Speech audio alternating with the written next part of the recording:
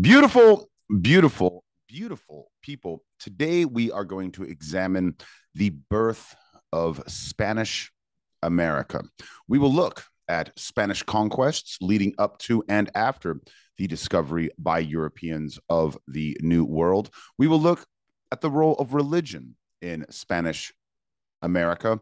And then finally, we will examine the economy and government in Spanish America within the Spanish Empire.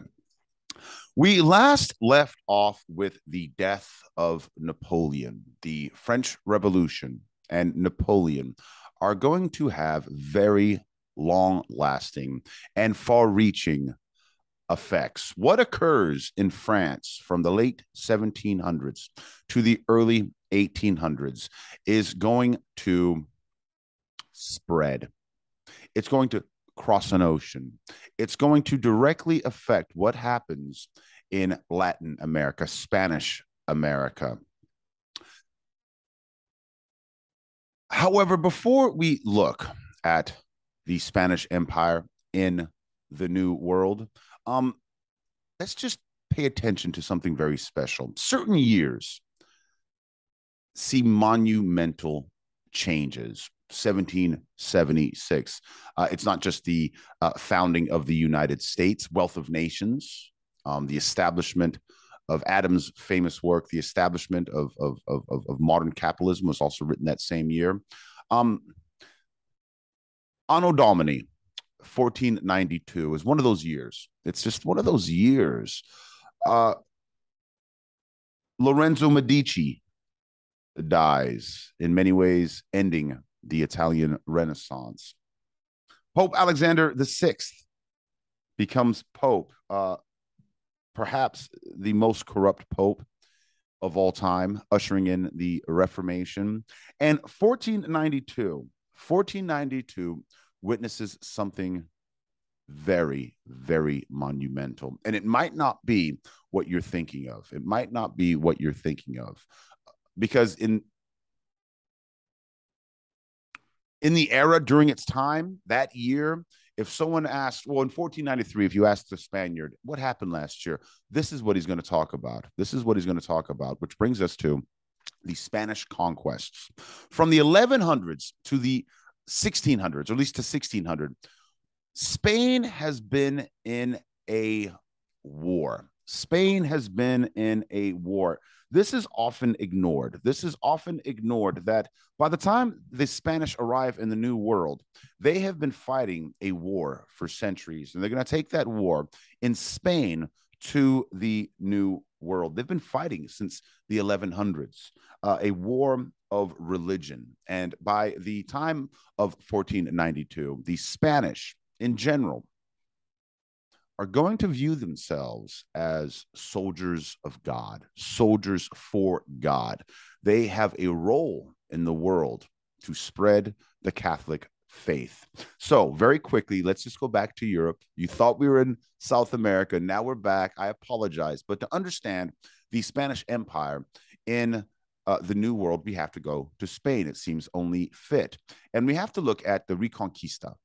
The Reconquista to understand the Americans, we have to understand the reconquest, as the Spanish called it, of Spain itself. You see, Spain had been under an occupation. Spanish Christians um, had been under the occupation of Islamic rulers from North Africa.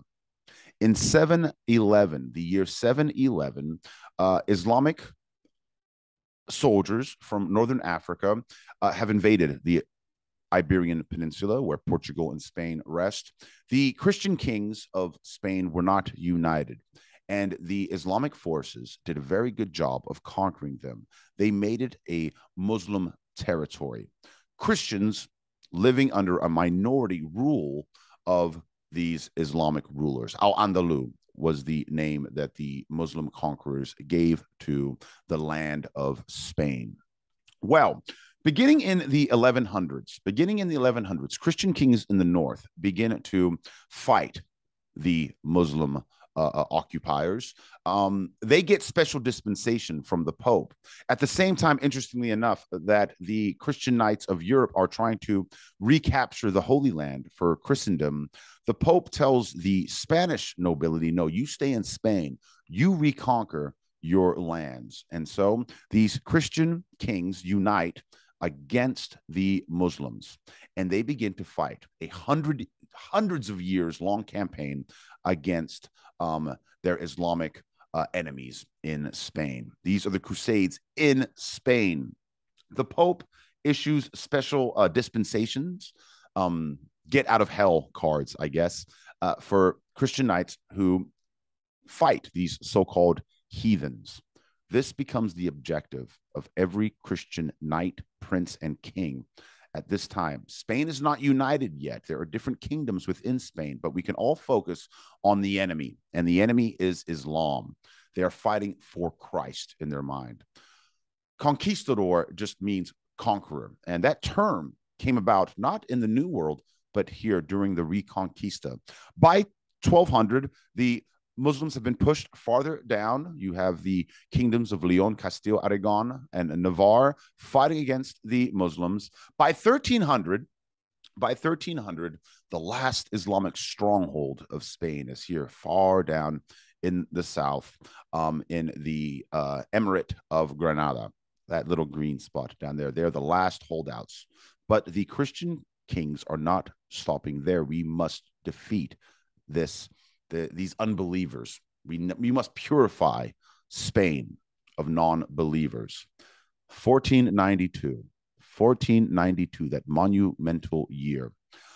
Castile and Aragon have already united in a marriage, and they are pushing down on Granada. In 1492, the last emir of Granada, rather than risk his life in battle, hands over his kingdom. He is the last Muslim ruler. He hands it over to Ferdinand and Isabel, the uh, Catholic monarchs, as they were called. By the way, present in this meeting, or at least in Granada, he wasn't at the meeting, was a young Genoan uh, merchant who was try- going to try to convince the Spanish uh, monarchs to lend him three ships. He's got a new route to the east. I wonder how that'll work out. He's got a new route. He's there. He's trying to get a he's trying to get an audience with um, Ferdinand and Isabella, but their focus is the surrender of Granada. And in 1492, the last ruler of Granada, Islamic ruler, pardon me, um, hands over the keys to the city and leaves. He's allowed to keep his wealth. He's allowed to keep his many concubines and wives, and he leaves. There's an old story that my grandpa told me in his village in Spain. Um, this is his village. Uh, on a clear day, you can see Africa. Africa's right there. That's why it was so easy for the uh, North African uh, Muslims to cross over into Spain and conquer it back in 711. If you want to know, I know it's not important, but my room was right here. This is my grandpa's house, and my room was up here. Pretty cool, right? Anyways, my grandpa told me a story, and if you knew my granddad, he was a brilliant storyteller, but you had to take everything he said with a little bit of salt, maybe maybe more than a pinch. But I want to believe that this story is correct. I don't care if it's not true. I believe it's true, and I've never read that it wasn't true. So we're going to go with it's true. Muhammad the Twelfth. He's the last ruler. He's handed over the kingdom. He's on his way back to North Africa. He's allowed to live. He's allowed to remain wealthy. But on the road, and this road is near my grandpa's house. He lived in the province of Granada He's weeping. He's weeping. He's he's lost the kingdom. Could you imagine? I get sad when I lose 20 bucks. I want to cry when I lose 20 bucks. This man's lost a kingdom and he's weeping in his carriage being pulled along and his mother is sitting next to him and she's growing impatient. She's listening to her son cry. Finally, she finally she loses her patience. She grabs him by the ear, turns him around, and slaps him in the face. And he holds, she holds onto that ear and she goes, Listen, if you had fought like a man, you wouldn't be here now crying like a woman. I was like, Ooh, ooh, mama doesn't mess around. I love that story. Again, I don't know if it's true, but for this, we'll believe.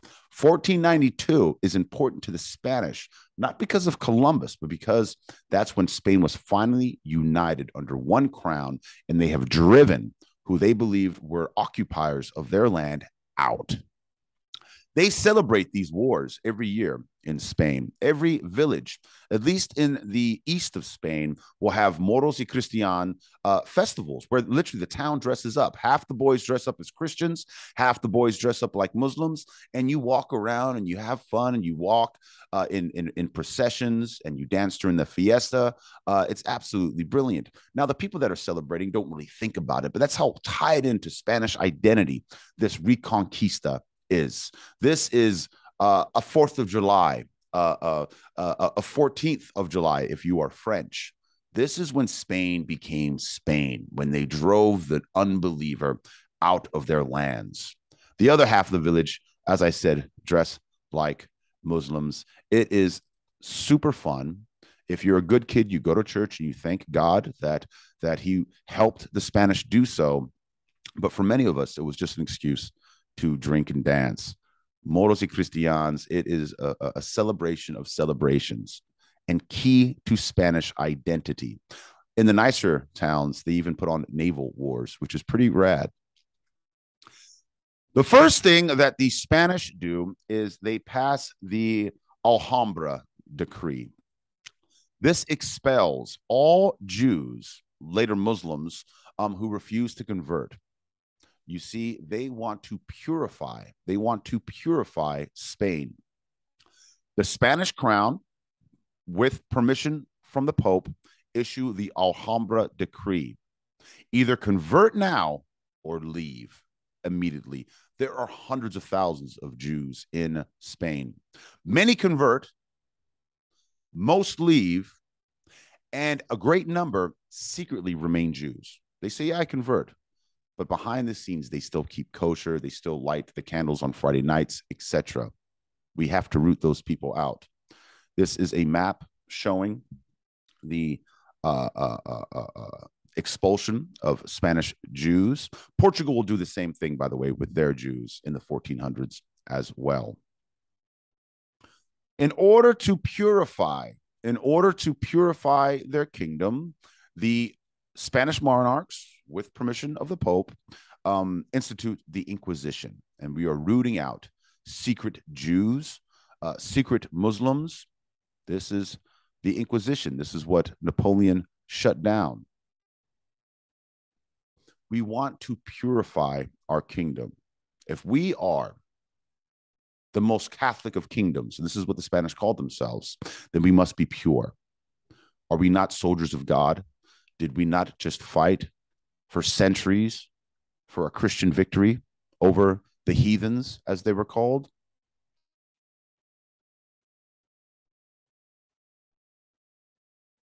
There is a tradition in Spain. When you meet with someone, you go to their home, they will give you a beautiful piece of pork, usually serrano ham, but there's different kinds they're not aware of this. They're not aware of this. But this goes back to during that time, during the Inquisition, when you wanted to make sure that your friend, your visitor, your business associate was a true Catholic and not a secret Jew. And so you'd give them a piece of pork. And if you don't know this, Jews are prohibited by religious law from eating pork. You just can't. You can't do it. And so, Rodrigo, eat some pork. No, I'm good. Rodrigo, eat some pork. No, I just ate. It's funny. I just I just ate. But right on my way here, I Rodrigo, eat the pork. Oh, this is how you know who you're dealing with. Again, that tradition dates back to then. It's no longer even people don't even think about it. Most Spaniards don't even know about this.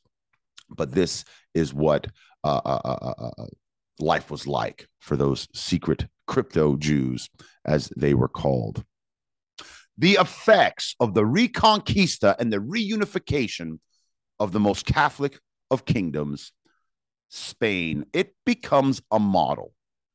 The reconquest of Spain becomes a model for the Spanish. Conquest in the name of God. The Spanish become convinced, convinced that God is on their side.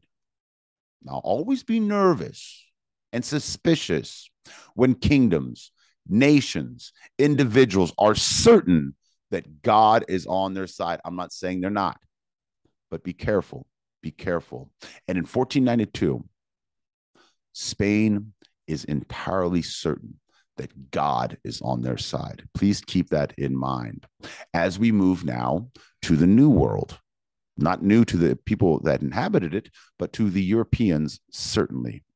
Now, there are literally thousands, tens of thousands of tribes in the Americas um, in 1492, um, each with their own distinct language, culture, uh, religious uh, uh, uh, uh, uh interpretations. I'm not, I can't look at all of them by any means. And I'm staying with Mexico down because that is what becomes New Spain. So if you want to know above, this is not going to be it. And there's no great detail here. I'm just trying to paint a picture. This is modern history. So we're not going back, back. But one of the empires, and this was very much an empire that these conquistadors are going to come into contact with, uh, are the Aztecs. They built their capital. They were promised a land by their god um, in a swamp on an island, and they would develop this into a highly, highly civilized capital. When the Spanish finally do arrive, by the way, they are marvel. They marvel. No city like this exists in Europe. It's giant, it's clean.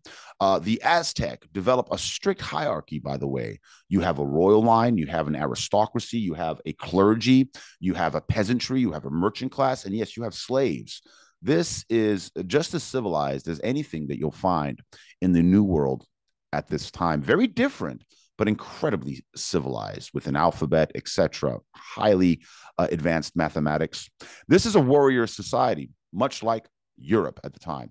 It's exactly the same as Europe at the time. If you want to get a name for yourself, if you want to rise through the ranks, you show extra bravery in war. And the Aztecs were noted warriors. They defeated many, many of their neighbors and subjugated them made them clients. You have to pay tribute, whether it be in in in, in food, sacrificial slaves, etc. Highly martial society, very warlike, incredibly advanced, very religious, devoutly religious, which leads us to uh, sacrifice. Yes, they did. They certainly sacrificed hundreds of thousands, hundreds of thousands. This was in the name of religion. I'm not justifying anything. I don't pick sides in history, but just know, according to them, the sun will not rise if we don't do this. I don't want to do this. I have to do this. We have to keep the gods happy. Men, women, children were sacrificed by the Aztecs, certainly, certainly, certainly, which is going to get them a lot of enemies, just so you know. Please keep that in mind. So when the Spanish do arrive, many of their neighbors are like, oh, you want to help? I'll help because they don't want to live under the Aztecs. Incredibly advanced, incredibly stratified. Again, just like Europe, you're born into your class. You don't jump from classes uh, in Aztec society. Next, let's look very briefly at the Inca, stretching all along the western coast of modern South America, high in the Andes, way up in the mountains were the Incas. Now they have many, many cities. This is a highly civilized society. Uh, the one that is have been has been left for us, only discovered what hundred years ago, Machu Picchu, gives us an idea of what it was like to live within one of these Inca cities. This is what it would have looked like as recreated by an artist. Now, the Inca are noted for their incredible building abilities. Building this on top of a mountain, which is literally on the top of the world, is incredible enough. No mortar. Those rocks are cut to size 12 corners, 12 points. And in many places, you can't put a piece of paper in between those stones. It's so well cut. The Inca, like the Aztec, were great conquerors, subjugating many, many of their neighbors. And they have something that the Aztecs have, and that is gold. That is gold and silver. And the Spanish are going to fall in love. Some might call it a blind, unhealthy love with gold and silver.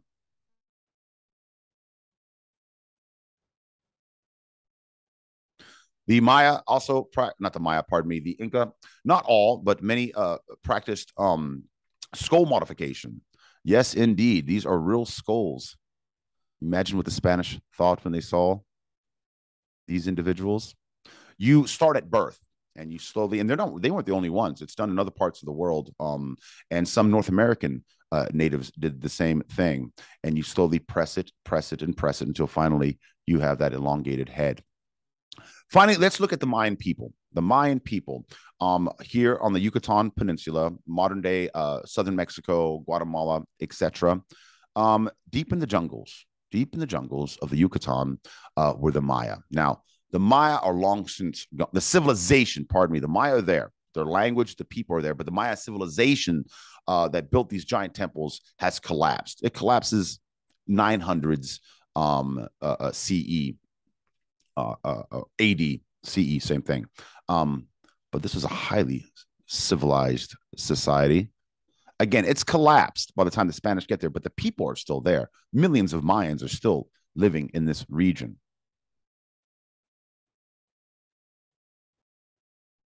The Mayans were very literate, books, alphabets, extreme uh, advanced mathematics, etc.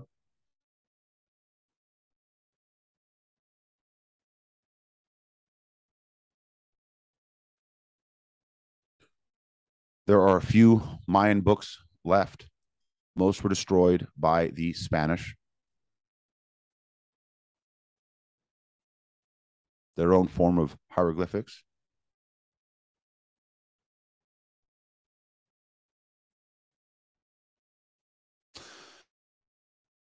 in the late 1400s and early 1500s, strange ships are seen off of the coast of Mexico, the Caribbean, South America. These ships are the Spanish. These ships are the Spanish. And this is going to represent an apocalypse, an apocalypse for these native people. They're entire way of life is going to change. Those who are lucky enough to survive, because many are going to die, 90%, 90% of the natives of Mexico and Latin America, South America, are going to go away with the arrival of the Spanish.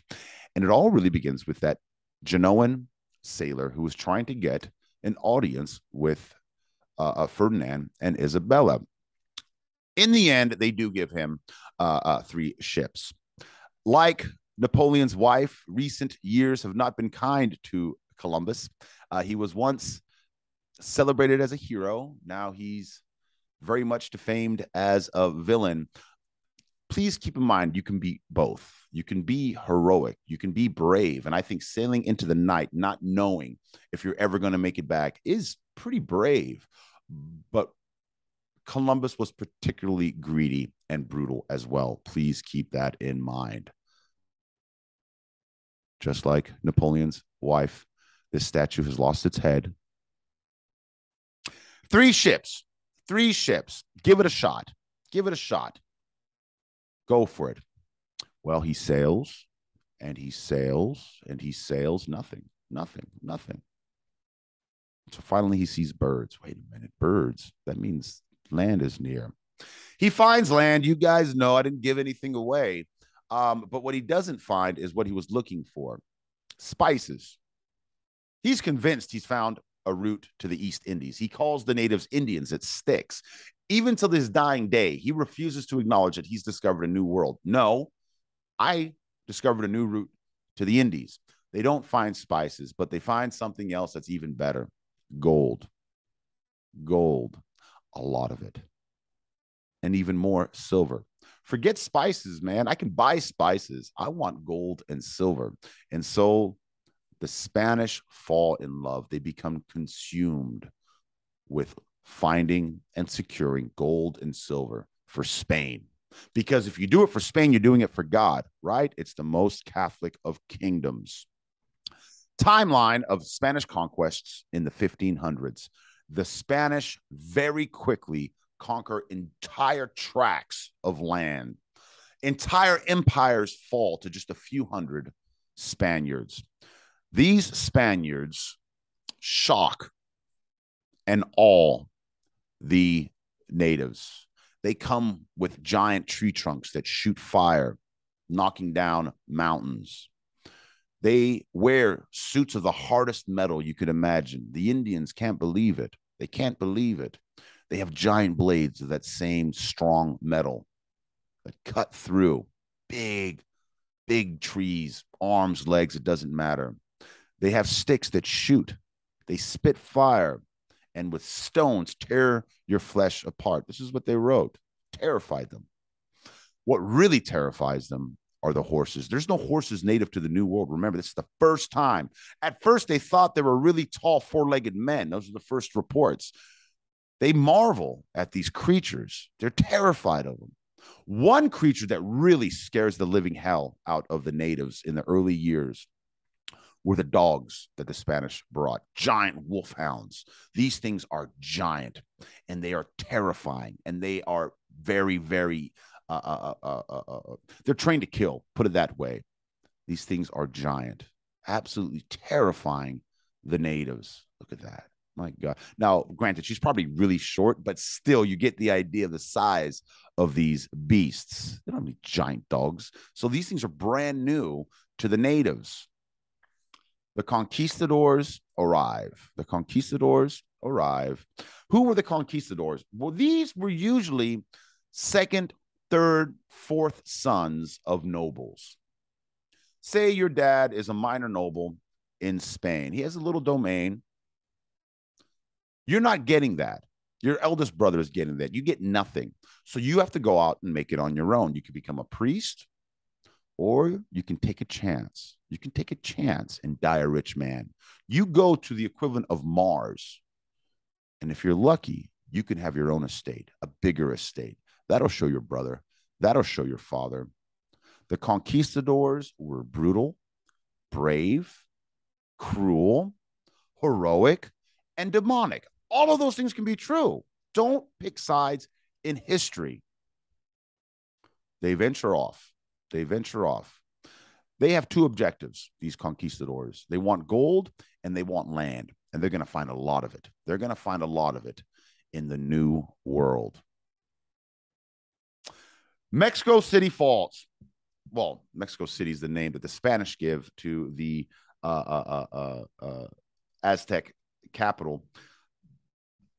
When the Spanish arrived in Mexico, the Aztec population was between five and six million people. In 1521, Hernan Cortez, with a few hundred conquistadors, aided by tens of thousands of other Indian tribes, uh, finally conquer the Aztec Empire. In 1535, the viceroyalty of New Spain was established by the King of Spain. This is begin. This is going to begin a 300 year domination of the Spanish of Mexico. Next to fall were the Inca. Next to fall were the Inca of South America.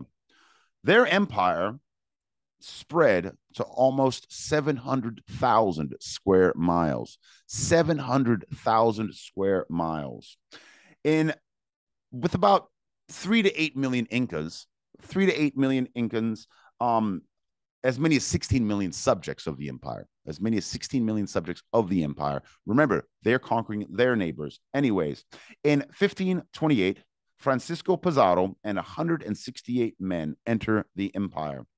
1532, they capture and imprison the emperor of the Inca. Thus begins their domination of the Incan lands. In 1542, the viceroyalty of Peru was established. Please know, however, that over the 1500s, there are pockets of resistance throughout the Incan territory. Next to fall were the Maya. Next to fall were the Maya about five to 10 million people uh, were the Maya. Again, there'll be pockets of resistance among the Mayan people uh, well into the 1600s. But for the most part, they've been subjugated um, by the middle 1500s. One after another, the Spanish are conquering. How do just a few hundred men conquer empires? Yes, they had help. Yes, they had guns. Yes, they had swords, horses, etc. I was going to say secret weapon, but it wasn't a secret. It was very obvious. Um, what really destroyed those empires was plague. Things that would give Europeans a fever, a headache, sore muscles, wipe out millions. Millions. Smallpox, measles, the mumps, the natives had no natural immunities to them. And so when they are affected or infected, they die. They die. Let me give you an account. Let's read an Aztec account very quickly of when smallpox entered their capital as they warred against the Spanish in 1520. The Aztec wrote, quote, a great plague broke out in the capital. It lasted for 70 days, striking everywhere in the city and killed vast numbers of people. Sores erupted on our faces, our breasts, our bellies. Those are the sores. Those are the sores.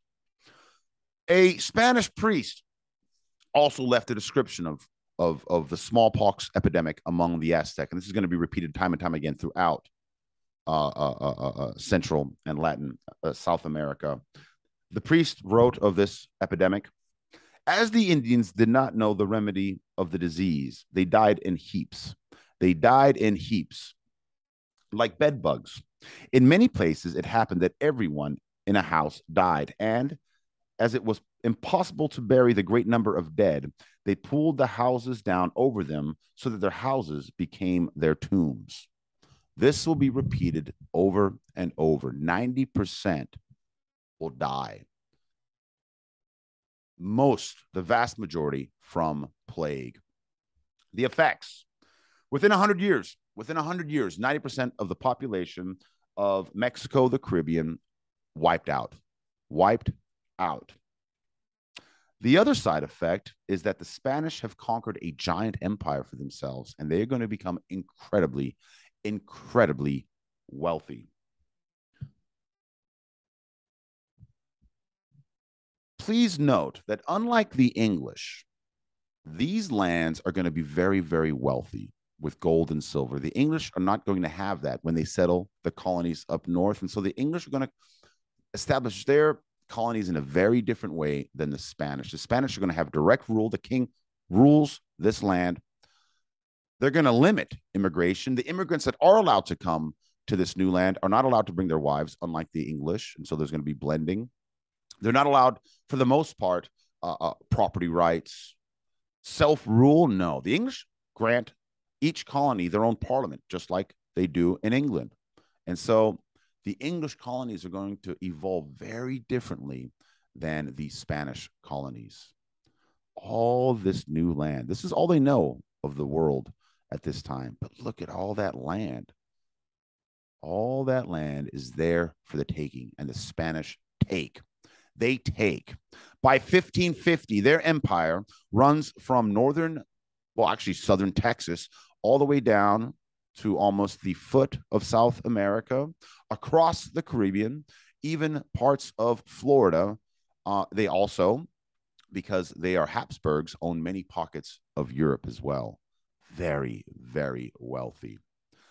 Into the 1600s, their empire is going to grow and grow and grow the Spanish are going to become very, very wealthy.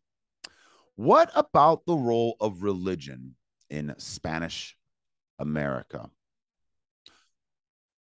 Well, religion in South America is going to reflect the two wants of Spain at this time. What does Spain hope to get out of the new world? Gold and souls we want gold and they're going to pull a lot out of this land but we also want more souls for god we want these natives to be converted. Gold and souls in that order honestly for the longest time gold was much more important than souls. Who dominates? Who dominates new spain? Who are at the top of the food chain in new spain? That's what we're calling the spanish empire in the new world. The nobility on the left the nobility on the left and the clergy. Forget everything I just told you about what happened in France or even what happened in Britain. Spain is going to remain old school. Spain is going to remain very traditional. Spain is going to remain feudal well into the 1700s. Please know that. If you are a peasant, you are not heard. Two institutions rule New Spain the nobility in service of the king, and the clergy in service of the king, quite frankly, and the Pope in Rome. Background background. Remember, 1492, 1492, the end of many centuries of fighting. It was Isabella of Castile, known as the Catholic monarch, and Ferdinand II of Aragon, who marry in 1469, uniting Spain, uniting these two kingdoms. Now, they're second cousins, but they ask for a special dispensation from the Pope. The Pope says, Of course, do it. And so they marry, uniting the crown of Castile and the crown of Aragon. When they finally, when they finally kick out the last emir of Granada, um, they introduce the Inquisition to root out non believers. It was Catherine with the Pope who brings in the Inquisition. We want to root out all non believers, do we not? Well, we're going to take that attitude to the new world. We're going to take that idea of, of, of, of, of, of absolute purity to the new world. All of those souls, all of those souls, my God, if God was already on our side, how much more will he be on our side when we give over to him millions? It was always part of the deal. The conquistadors came in the name of God, and following them were priests, always one and the same. With the sword and the banner of Christ, they conquered. It was always the two golden souls. Pope Alexander VI and Julius II both gave the Spanish crown absolute authority over the church in the New World. Unheard of, unheard of. But they gave the crown complete dominion over the conversion of natives in the New World. It's your guys' job. You do it. We trust you. And by the way, as a special thank you to the Catholic Church, they were awarded giant tracts of land in the New World. The clergy become giant landowners in the New World. Conversion of New Spain. The conversion of New Spain very early on, very early on, priests go into Mexico and other parts of New Spain. They learn the local languages, they learn the local religion, they um, become very adept, very knowledgeable of these natives. They want to convert them. They do. That is a sincere wish. Um, and they do, in many parts of Mexico, convert these Native Americans. Now, interestingly enough, interestingly enough, what they do, they don't view these natives as heathens the same way they do, say, Jews and Muslims, because Jews and Muslims knew about Christ and rejected him. These guys don't know about him. And so their native religion was more tolerable than, say, a secret Jew or a secret Muslim. But the Catholic Church does something very clever. And they did this, by the way, way back when they converted Europeans to Catholicism. Remember, Christianity begins in, in, in Israel. It's a new religion, and they're trying to convert people. Well, the natives of Europe um, had many gods and nature worship. They do with the Mexican Indians what they did a thousand years earlier with the native Europeans. What you do is you look for similarities with your gods and my gods, and you try to bring some kind of union. And what they did is they would tear down the idols. Certainly, you can't have idol worship. That's ridiculous. They tore those idols down. No, no, no, no. You can't have that. But also, they looked for parallels. Oh, you have a moon goddess who is the giver of, of, of life, a moon goddess. Okay. All right. Well, we have a, a mother in our faith. We have a mother in our faith. So, what do we do? We put moons and stars on the Virgin Mary. You see, this is this is the Mary that you see in Mexico. We put stars and a moon on it. We knocked down the temple that was dedicated to the moon goddess and we build a cathedral. But it's dedicated to the Virgin Guadalupe. You see, with the moon and the stars. We build it right on the same spot. Genius. Genius. Oh, so you used to sacrifice people to the gods to make the gods happy. Well, no, that's not unreasonable. You can't do that anymore. But our God sacrificed himself. What? Himself for all of us. You see, I'm drawing a parallel. This is what they did. Your priests would eat the flesh of those sacrificed. Well, you can't do that anymore. But when you take the Eucharist, when you put it in his mouth, your mouth, you are eating the flesh of Christ. That's his sacrifice to you. Do you see the parallel? You see how genius that is? I think it's quite brilliant. Festivals that weren't anti Christian were allowed to stay. Traditions that weren't anti, as long as it didn't go against the Bible, it can stay. There's nowhere in the Bible that speaks of the Day of the Dead. This is left over from the old, the old religion, the old faith. But in Mexico today, you'll see the Virgin Mary with the baby Jesus at the Day of the Dead. That is a perfect blending of native tradition, native religion, and Roman Catholicism. This is how the Catholic Church succeeds so well in so many parts of the New World. In Mexico, the Spanish also sought to purify.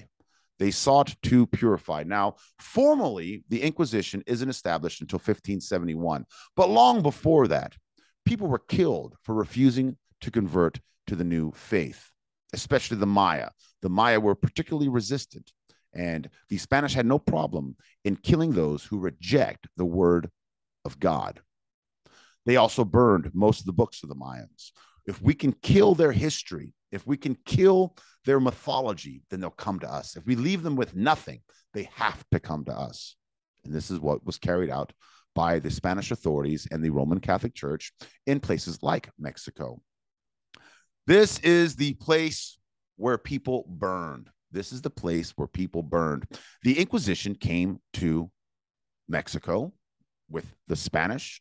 We are trying to root out all non believers. We are trying to cleanse all non believers. Let me just give you some statistics here because I didn't earlier and I want you to know this. In 1580, there were 1,500 members of the clergy in Mexico. 1580, about 1,500. By 1650, there are 3,000. 3,000, many of whom are part of this Inquisition. We want we want the Catholic faith to bring three things to Mexico and the rest of New Spain. Number one, we want salvation for the natives. We, we are interested in saving your souls. Number two, we want to destroy the old social order. We want to destroy your old social order the way you did things. And then finally, we want to maintain stability with our new social order. Spreading the faith is a way of doing that.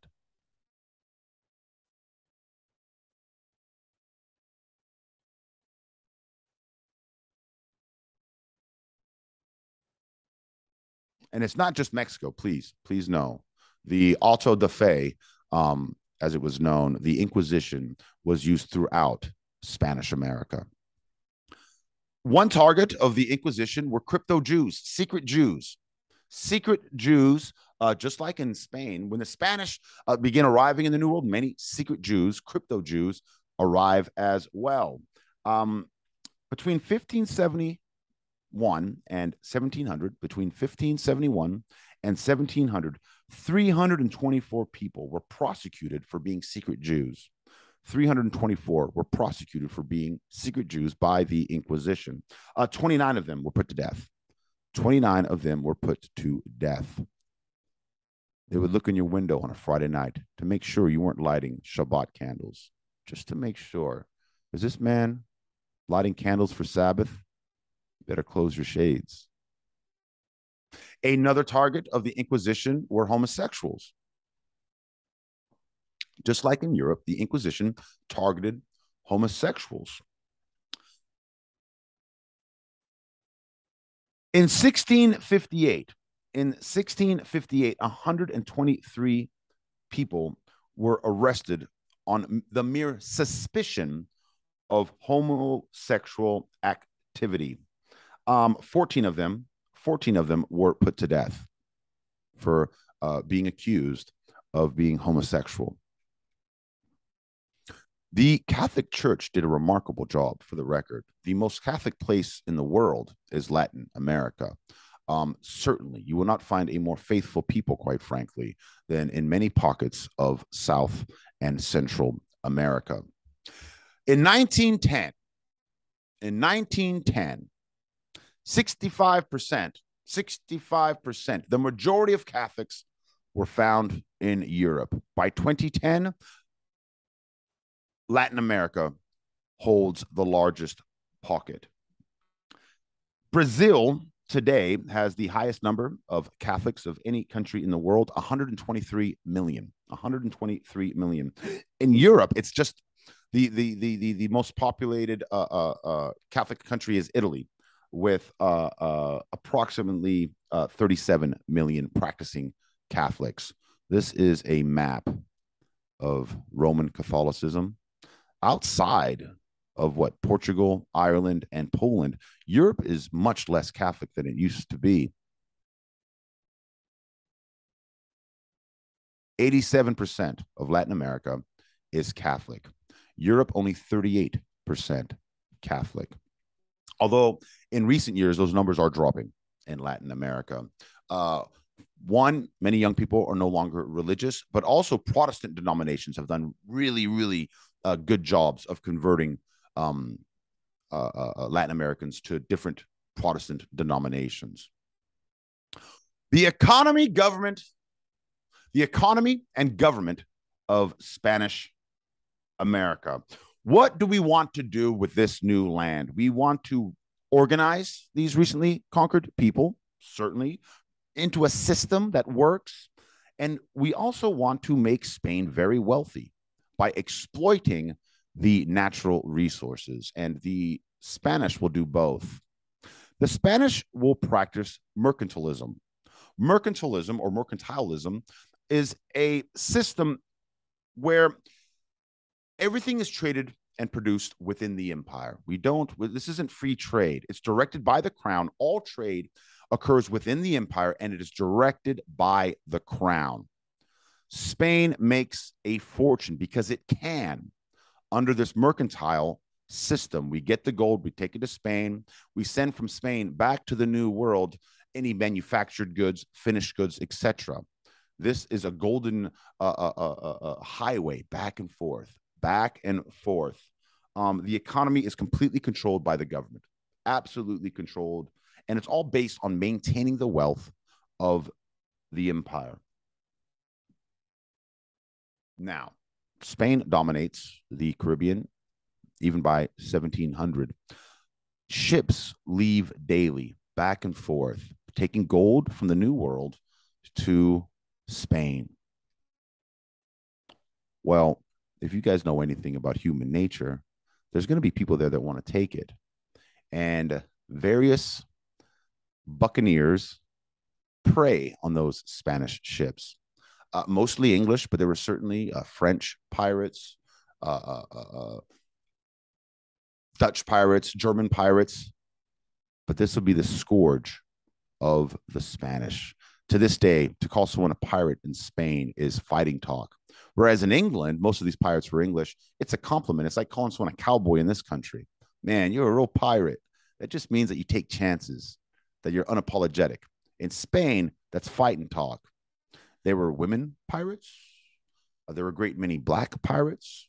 Um, tremendous diversity, and they elect usually elected their captain. Tremendous democracy. Now, these were raping, pillaging lunatics. Don't get me wrong. I'm not trying to rewrite history, uh, but a very interesting time in world history. By the 1800s, when they go away, we begin romanticizing them. Uh, they do the same thing in the United States. By the time they subjugate the Native Americans onto reservations, that's when they start romanticizing them. When they were a real threat, they were demonized. But once they kind of go away, we go, oh, those were the days of high adventure. One way in which the Spanish attempt to organize and make a profit was the encomienda system. The encomienda system, how does it work? Well, this is practiced in the early years of the empire. The Spanish crown would grant a Spaniard a set number of natives to work, usually about 100. You were given 100 natives to work.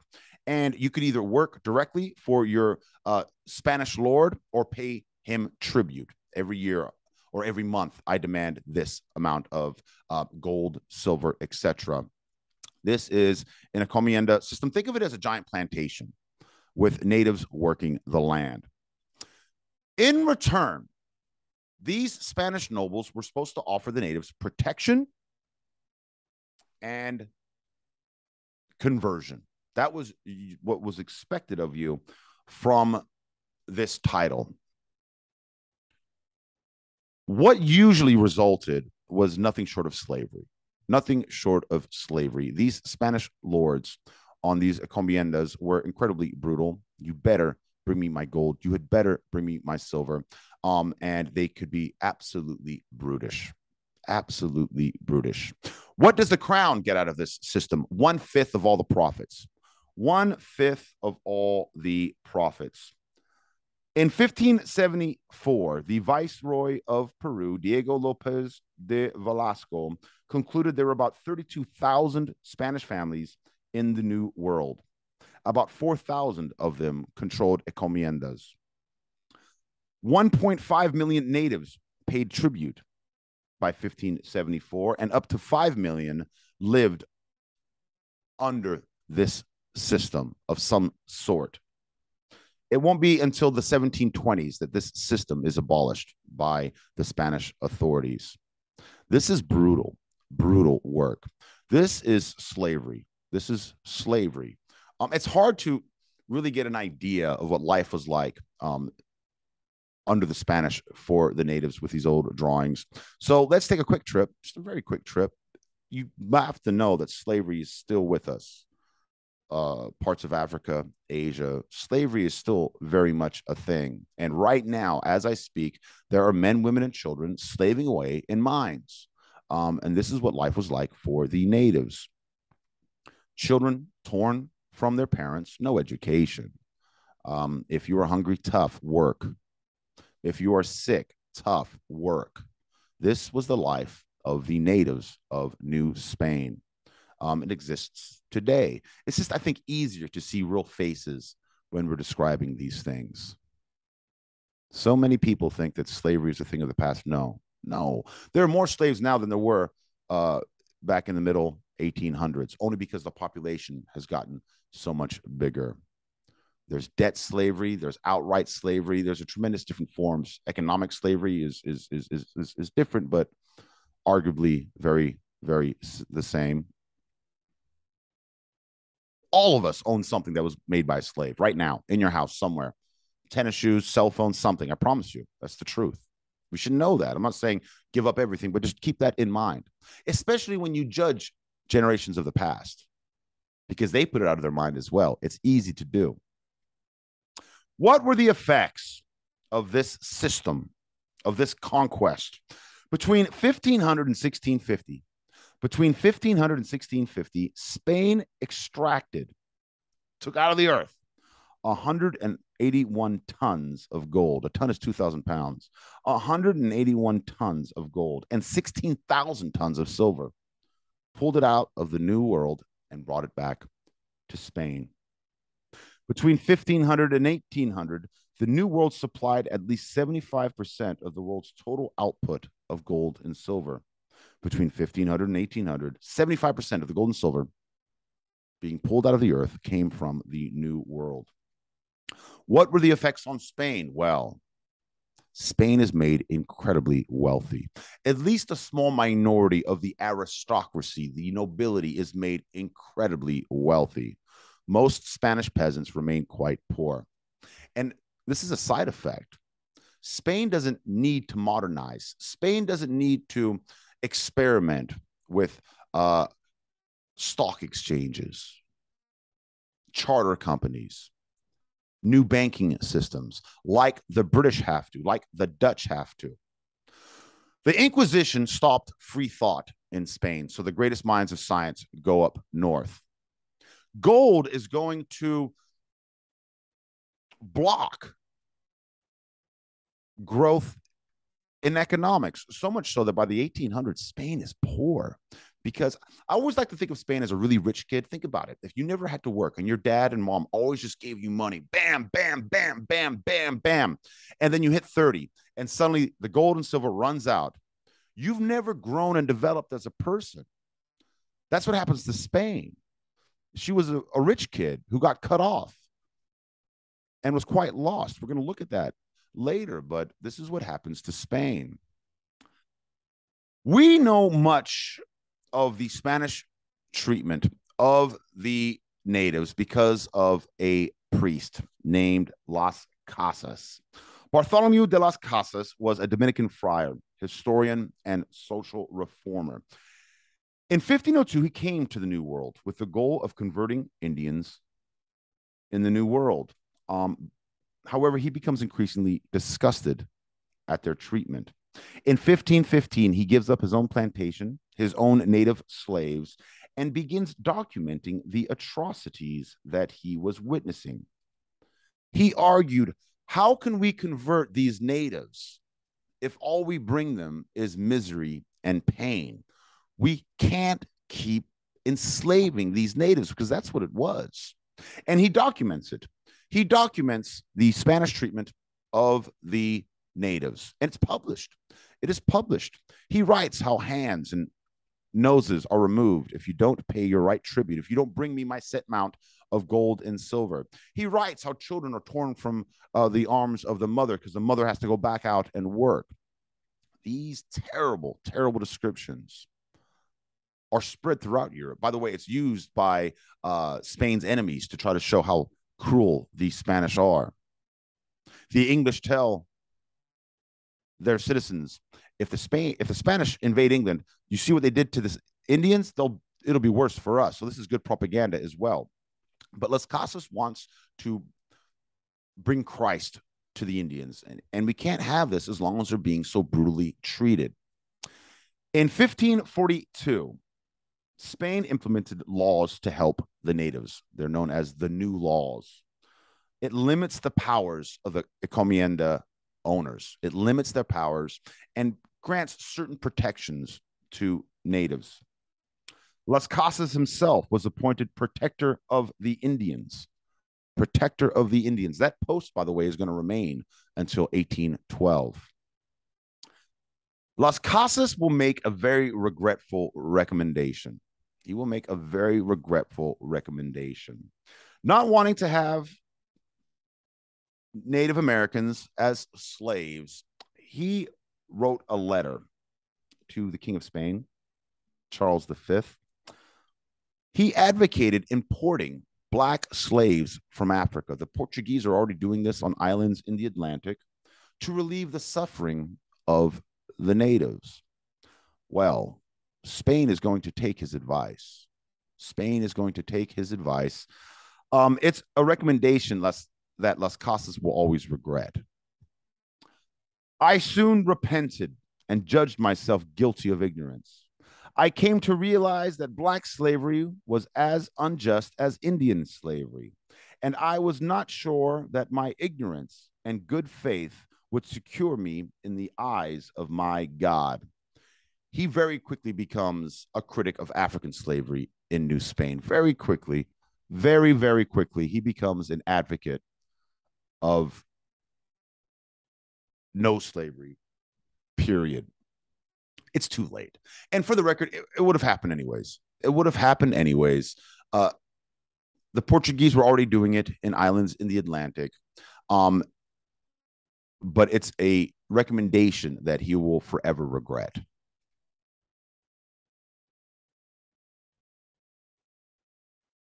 Slavery in New Spain. No, I mean African slavery, because we already had slavery with the natives. Spain was the first to use African slaves in the New World. Um, it begins it begins uh, on the island of Hispaniola. It moves to Cuba, Mexico, etc. Uh, the Portuguese first started using African slaves. For the record, Muslims have been using African slaves for many, many, many centuries, millions, long before Europeans did it. There was a very healthy slave trade in Africa already, buying them from warring tribes. They were used to, like the natives, mine precious metals, um, work in the fields. They were perfect. The trade winds allowed for slave ships to go around the Atlantic. The, the, the trade winds were perfect. Um, they were not as vulnerable to tropical diseases, having come from the tropics themselves. But most importantly, their black skin made them an other. If you ran away, you still had that skin. You couldn't hide among the natives, you couldn't hide among the Spanish. It was a perfect storm. Um, the Spanish will lead the way, in fact. Approximately 17.5% of the African slaves, the between 9 and 12 million slaves that will eventually come to the New World, um, 17.5% will be brought by the Spanish. However, the British and the Portuguese will exceed those numbers. Not often spoken about is the history of uh, Black slavery in Mexico, Central America, Latin America.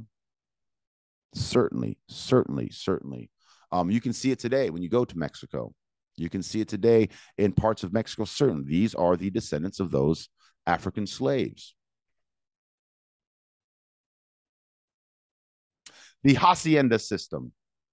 Outside of the mines and the encomiendas, the hacienda system is another way to make a profit. What is the hacienda system? Well, we give away giant tracts of land, vast tracts of land to Spanish noble families, usually. Um, and they employ all the local Indians on the hacienda. However, the local Indians um, get paid uh, uh, next to nothing, usually nothing. Just you can live on land that used to be yours, but now it's mine. Um, and anything that you have to purchase, uh, you purchase from me, and you have obligations. You have obligations to your feudal lord. This is feudalism in the New World. The Spanish bring feudalism to the New World. Western Europe, they're getting rid of it, at least in Britain. Um, no, the Spanish are importing it to the New World. You can see these giant haciendas in pockets of Spain today. These are leftovers. The noble would live in this estate, and the uh, Indian peasants would work land that's not their own for their lord.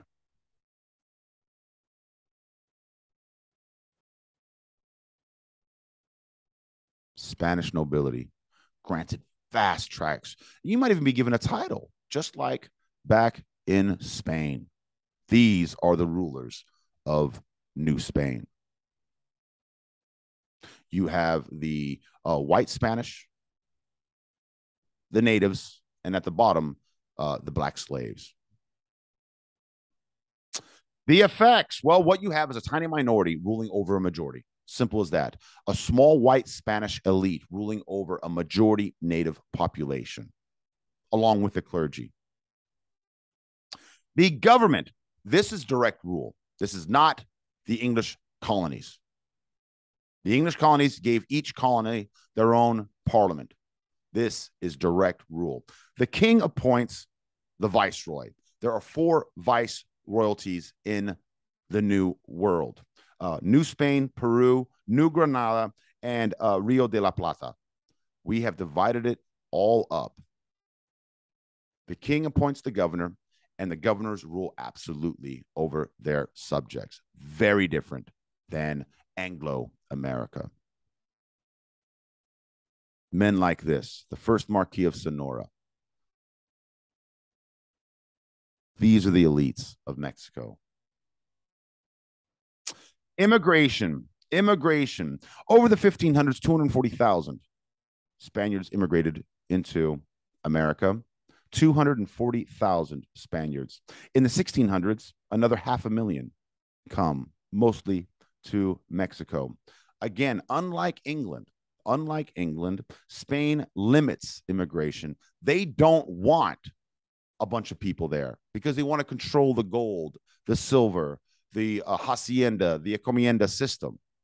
In England, they're throwing people, they're putting people on ships, whether they like it or not, they're sending them to the New World. Spain's very different. Mostly just single men come. And so we're, we're going to see a tremendous blending the urge to merge uh, uh, uh will occur in New Spain. We're going to look at all of those things in our next lesson. Thank you all very, very, very much. Until we meet again.